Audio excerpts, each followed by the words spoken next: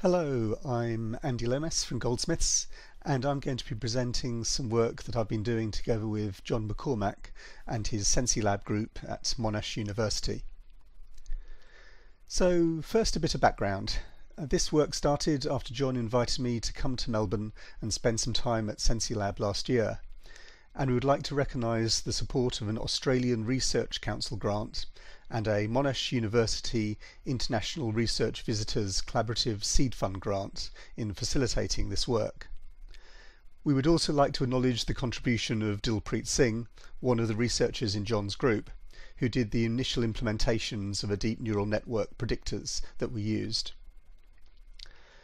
One of the big challenges for evolutionary art is to understand measures of aesthetics, but the big question is can we really formalize or automate human aesthetic evaluation when it appears so subjective? In a recent survey, Johnson et al. looked at many different approaches to formalized aesthetic measures for evolutionary art and design, including approaches from both computational aesthetics and psychology, many of which focus on observable details in the artifact under consideration. However, a model from psychology by Leder and colleagues demonstrates that aesthetic experience extends beyond the observable properties of the object itself, including things like context and the affective state of the viewer, things that are very difficult or even impossible to formalize. Here's a diagram of Leder's model, showing the variety of factors that contribute to an aesthetic judgment and experience. Most of the work in computational aesthetics has focused on the perceptual analysis of objects, but previous experience, context, and affective state of the viewer also play important roles. Leder's work seems to suggest that any unified measure of human aesthetic evaluation would be impossible. Some relevant background to the work we're presenting is that I'm a practicing computational artist. Most of my work explores morphogenesis, modelling growth as a process of cellular development, and exploring the range of complex organic forms that can be created through these systems. For this study, we focused on a series of works from around six years ago called Cellular Forms, because it already had a data set, including rankings and categorizations, that we thought would be particularly relevant. The model used for the cellular forms has a genotype of 12 real-valued parameters, and can produce quite a wide range of different structures, such as those seen here. One thing we were particularly interested in was working with data from a real artistic system for ecological validity. Another thing we need to mention is Species Explorer. This is software that I've been developing over a number of years and forms a key part of my artistic practice. The software gives an interface that can be used to evaluate the results of a generative system assigning subjective ratings and categories to images. You can yet then use that data with a number of different methods to choose parameter values for new individuals to generate, including random sampling, genetic algorithms such as mutation and crossbreeding, and machine learning methods that try to predict fitness values at new points in the genotype space and use Monte Carlo sampling to select new parameter values.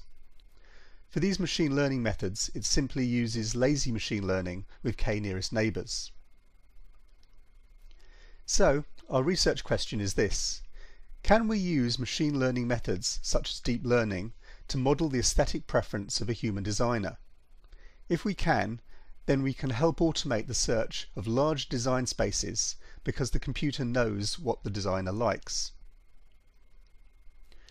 One intuition is that places in the genotype space where there is a transition from one type of behavior to another can be particularly aesthetically interesting. You can see this in, in this plot from the aggregation series, one of my earlier works, showing the effects of varying two of the genotype parameters.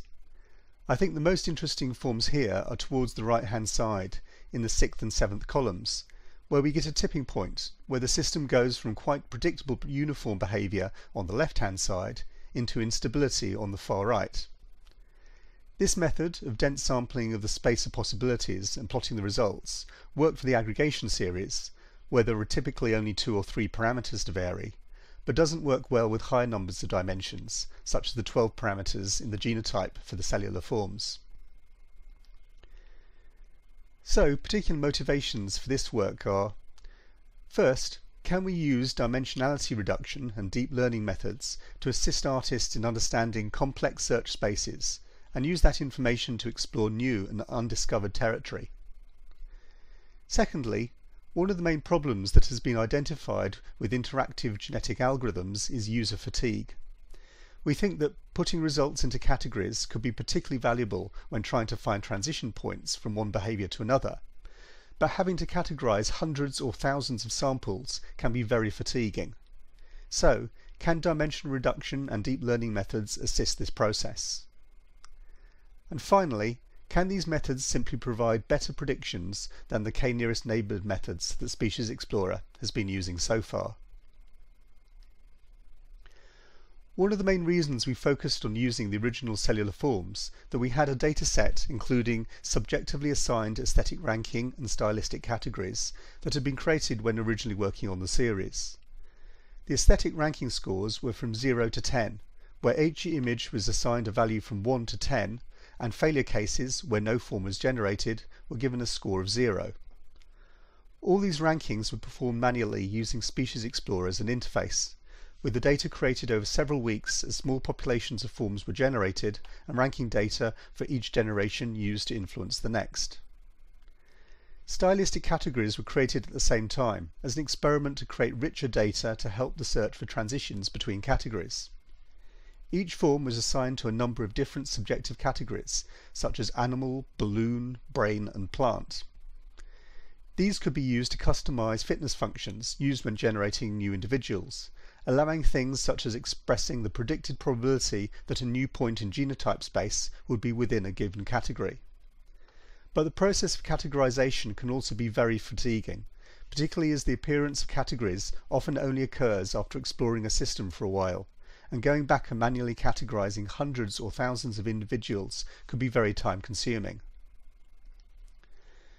The first thing we looked at was whether we could use dimension reduction methods to visualize the distribution of both genotype and phenotype space, looking for structure in the data. We looked at three different algorithms to reduce the data to two dimensions, TSNE, UMAP, and variational autoencoders.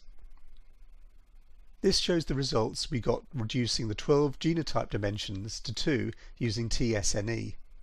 The results with UMAP and variational autoencoders were generally similar. As we think you can see, we didn't find any particularly obvious clustering for either the category or score data, apart from a general tendency for the higher score samples, indicated in red, being in the upper left quadrant. We think this reveals that with this data, the genotype space is quite unstructured in relation to aesthetic concerns. These plots show the results we got from the phenotype space. These were based on using a ResNet 50 image classifier to generate a 2048 element feature vector for each image, and then using TSNE to reduce from 2048 dimensions to 2 dimensions and look for clustering. ResNet 50 is a convolutional deep neural network originally trained using the 1.2 million images in the ImageNet database. As we think you can see, there are some noticeable structures, but when you look closer, these are mostly failure cases, such as when the image was completely black. One category that does seem to stand out, though, is the balloon case, but all the other categories seem to be largely clustered together. For the score values, there is a general tendency towards higher scores in the upper right quadrant. So, some structure, but not a lot of distinct clustering. Again, the results using UMAP and variational autoencoders for dimension reduction were generally similar. Please see the paper for further details. The next question we looked at was whether deep neural networks could be used to get reliable predictions of the subjectively assigned categories and aesthetic rank for each sample. Again, we looked at doing the predictions based on both the phenotype data, using the rendered images of the forms, and using the genotype parameters used to generate each form. For testing predictions based on the phenotype image, we again used a ResNet 50 network, retraining the final classifier layers of the network with the category and aesthetic ranking values from the cellular forms dataset. The dataset was divided into 1,421 training images and 353 validation images. The results were high levels of predictivity, with the ResNet 50 predictions matching 87% of the original category values and having a root mean square error of just 0.716 for the score values. We think this shows a remarkably high level of prediction, particularly when you consider that since the category values and aesthetic scores were subjectively assigned, a perfect prediction is likely to be impossible. The RMS error of 0.716 for the score values mean that the predicted scores were generally within one mark of the actual one given to each individual in the validation set. We next looked at doing similar predictions, but based on the 12 parameters in the genotype instead of the rendered phenotype images. For these tests, we used the tabular model from the FastAI Deep Neural Net library, using a configuration with two fully connected hidden layers of size 200 and 100. The results were again quite a high level prediction, matching the original category values in 68.3% of cases in the validation set and matching the aesthetic ranking scores with a root mean square error of 1.88. Comparing the results between the predictions from the phenotype and based on the genotype, we can say that we got significantly better results when using the phenotype. This makes sense since the categories and ranking scores were originally assigned by looking at the rendered images of each form. The FastAI tabular model on the genotype also appears to get significantly better predictions than the simple k-nearest neighbours algorithm that we had been previously using in Species Explorer. Following these encouraging results, we've been working on integrating deep neural nets into Species Explorer in a number of ways. The first is simply using deep neural networks as an option to replace the previous use of k-nearest neighbours, allowing better estimates of fitness at new points in the genotype space. We have also added the ability to train deep neural networks directly from the Species Explorer UI, including an option to export data from Species Explorer in a convenient form to use in Jupyter notebooks to experiment with further and export the results back into Species Explorer. There are also a number of new extensions to the system. The first is a panel called the Categorizer. This uses ResNet 50 to generate predictions for which category each form should be placed into. The user still has to define the names of the categories and place some initial forms into each category, but ResNet 50 can then be used to get predictions for categories for all the remaining images. It displays the results with each item ordered based on the confidence of the prediction, where the confidence is defined as the difference between ResNet 50's probability value for the predicted category and the probability value for the highest alternative category. The confidence level is also shown in the color around each thumbnail, with green meaning high confidence predictions and blue meaning lower confidence ones. The idea is that this can help the user see when the system is making clearly wrong predictions, correct those cases and add them to the training data. The user can also use a simple hotkey to confirm correctly categorized results. The hope is to allow the user to train the system with as few training examples as possible making the process of categorization a lot faster and reducing user fatigue. The next integration is what we're calling a genotype space plot. This shows 2D cross sections through parameter space, showing the predicted categories or rank at different coordinate positions. In this example, the red areas are parameter values predicted to generate category balloon forms, while the light blue region would be a brain and the yellow animal. The black region to the right is where the system is predicted to create failure cases, which render with a black frame instead of a form. The area of mixed colors towards the bottom is a region where the ResNet 50 predictions have lower confidence values, indicating a region where more training examples may be useful. As can be seen, this plot shows a number of potential places where it's predicted that a transition between categories may occur. The user can click on the plot to generate a new individual at the selected set of parameter values, such as to generate an individual at a location in a predicted transition zone. In particular, we're hoping that these genotype space plots may be a useful tool to help find places in genotype space where small changes in the genotype may result in changing from one phenotype category to another. The final integration we want to talk about is a system to automate looking for transition points in genotype space from one categorized behavior to another.